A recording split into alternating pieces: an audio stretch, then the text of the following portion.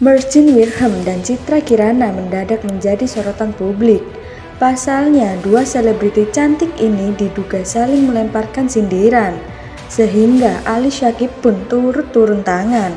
Lantas, apa yang membuat Mercin dan Ciki dituding demikian? Lalu, bagaimana klarifikasi Ali? Simak cerita selengkapnya berikut ini.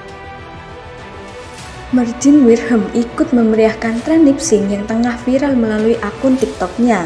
Ia bahkan memilih kata-kata yang terkesan menyindir sosok dari masa lalu. Merjin meminta sosok tersebut berhenti kepo terhadap Ali Syakib. Ada pula konten Merjin yang menyentil seseorang yang menganggapnya saingan. Padahal Merjin tak pernah peduli pada sosok tersebut. Postingan itu viral dan membuat publik mengira Mercin menyindir ex kekasih Ali Citra Kirana. Apalagi sempat muncul video TikTok Ciki yang seolah menjawab sindiran Mercin.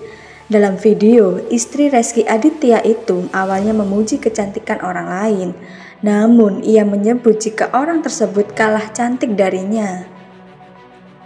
Usai dikira menyindir Ciki, Mercin memberikan reaksi tak terduga. Alih-alih marah, Merjin membagikan nasihat bijak tentang mengabaikan omongan orang. Ia tak mau terus-menerus cemas memikirkan pendapat orang lain. Istri Ali Syakib ini justru lebih fokus untuk introspeksi diri dan menjadi sosok yang lebih baik. Sementara itu, Ali pun buka suara terhadap gosip tersebut. Adik Nabila Syakib ini mengungkapkan bahwa sang istri sepertinya hanya sekedar membuat video biasa saat bermain media sosial.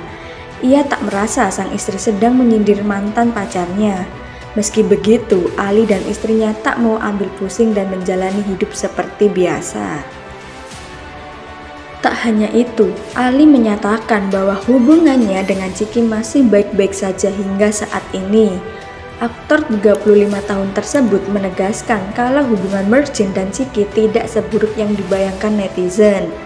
Ali maupun Ciki seolah membuktikan jika mereka sudah fokus pada rumah tangga masing-masing.